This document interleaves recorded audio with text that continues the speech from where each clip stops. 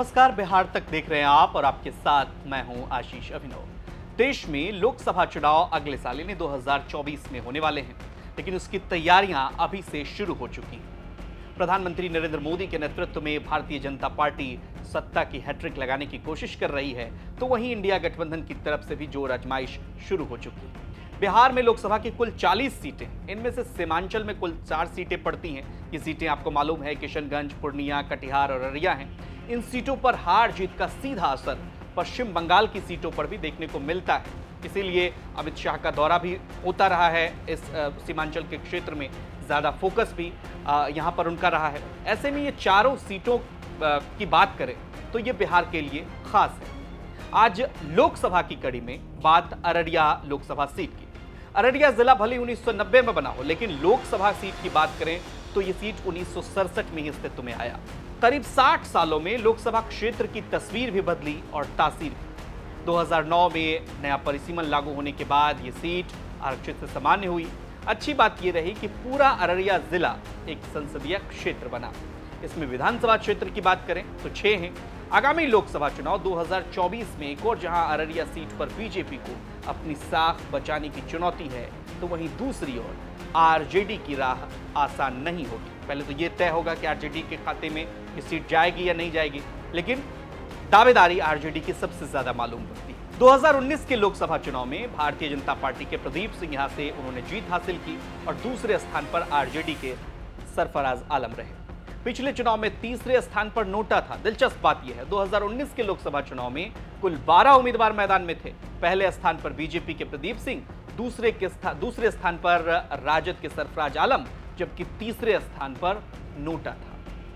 अररिया लोकसभा क्षेत्र में करीब करीब 40 प्रतिशत मुस्लिम वोटर हैं। अररिया लोकसभा सीट का जातीय समीकरण भी बेहद जटिल माना जाता है। मुस्लिम आबादी करीब करीब तैतालीस प्रतिशत, व हिंदू आबादी सत्तावन प्रतिशत के आसपास। वहीं बत्तीस प्रतिशत आबादी तैतीस प्रतिशत के करीब मुस्लिम वोटर कहे जाते हैं। अगर सांप्रदायिक आधार पर ध्रुवीकरण होता है तो कोई मुस्लिम उम्मीदवार उसी हालत में जीत सकता है जब उसे हिंदू समुदाय के कुछ प्रतिशत वोट मिल सके। हालाँकि हिंदू की तरह मुस्लिम जातियाँ भी कई समुदायों में और जातियों में बटी हैं। दो प्रमुख जातियाँ हैं, कुलैया और शेखरा। जैसा कि आप जानते हैं, कुलैया की आबादी सबसे अधिक है। इसके अलावा अंसारी, शेर शाहबादी, सब्ज़ी फ्रोश और फकीर आदि जातियाँ भी इसमें शामिल हैं।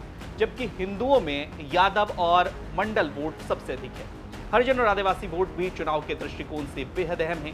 कुर्मी और कोयरी भी यहाँ अहम भूमिका में। ब्राह्मण मतदाता कमोवेश सभी विधानसभा क्षेत्र में है। इसकी संख्या अन्य आगड़ी जाति जैसे भूमिहार, राजपूत व कायस्थ से अधिक है। 2020 के विधानसभा चुनाव की बात करें तो तीन पर यहाँ पर विधानसभा चुनाव की बात करें और सीटों की बात करें तो तीन पर भारतीय जनता पार्टी, एक एक पर आरजेडी, कांग्रेस व जेडीयू के उम्मीदवारों ने यहाँ से बाजी मारी।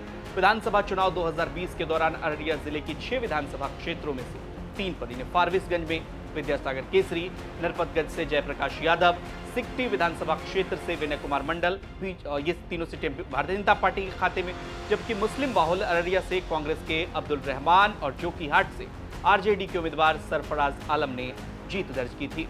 वहीं रानीगंज से जेडीयू प्रत्याशी अस्मित ऋषि यहाँ से विजयी हुए थे। अब बात संसदीय क्षेत्र में अब तक के बने सांसद की उन्नीस सौ सड़सठ में तुलमोहन राम, भारतीय राष्ट्रीय कांग्रेस से उन्नीस सौ इकहत्तर में बात करें तो तुलमोहन राम, भारतीय राष्ट्रीय कांग्रेस से सतहत्तर में, महेंद्र नारायण सरदार, भारतीय लोकदल से 1980 में डुमरलाल बैठा, भारतीय राष्ट्रीय कांग्रेस आई से, और उन्नीस सौ चौरासी में भी डुमरलाल बैठा, इस सीट को जीतते हैं, जबकि इस बार वो कांग्रेस पार्टी के उम्मीदवार उन्नीस में सुखदेव पासवान जनता दल से, उन्नीस में भी सुखदेव पासवान जनता दल से, छियानवे में भी तीसरी बार सुखदेव पासवान यहाँ से सांसद बने। अट्ठानवे में रामजी दास ऋषिदेव भारतीय जनता पार्टी से, निन्यानवे में सुखदेव पासवान आरजेडी से और 2004 में भी सुखदेव पासवान भारतीय जनता पार्टी से और 2009 में प्रदीप कुमार सिंह बीजेपी से। 2014 में मोहम्मद तस्लीम उद्दीन, बड़ा चेहरा आरजेडी का यहाँ से सांसद बने। 2018 के उपचुनाव में सरफराज आलम ने यहाँ से जीत दर्ज की और 2019 में प्रदीप कुमार सिंह यहाँ सांसद बने, जो वर्तमान सांसद हैं। पिछले बावन वर्षों में अररिया आरक्षित सीटों से सामान्य सीट तो बन गया, लेकिन इसका विकास फनीश्वरनाथ रेणु की कल्पना के अनुरूप नहीं हो पाया। इस बार लोकसभा चुनाव में जंग मुक्त लालटेन बनाम कमल के बीच है।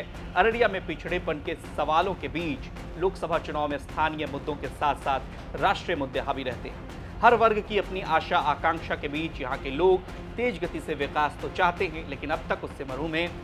अन्य जिलों की तुलना में अररिया विकास की दौड़ से बहुत पीछे है। यहाँ शिक्षा, स्वास्थ्य और दूसरी बुनियादी सुविधाओं की कमी है। इस बार जनता वोट करेगी तो क्या ये मुद्दे अहम होंगे? हावी होंगे? आपकी नज़र में अररिया के लिए मुख्य मुद्दे कौन से हैं? कौन सी पार्टियों का पलरा भारी है? कमेंट करके हमें ज़रूर बताएँ। ये खबर आपको कैसी लगी? हमें ज़रूर बताएँ और बिहार की तमाम खबरों के लिए देखते रहिए बिहार नमस्कार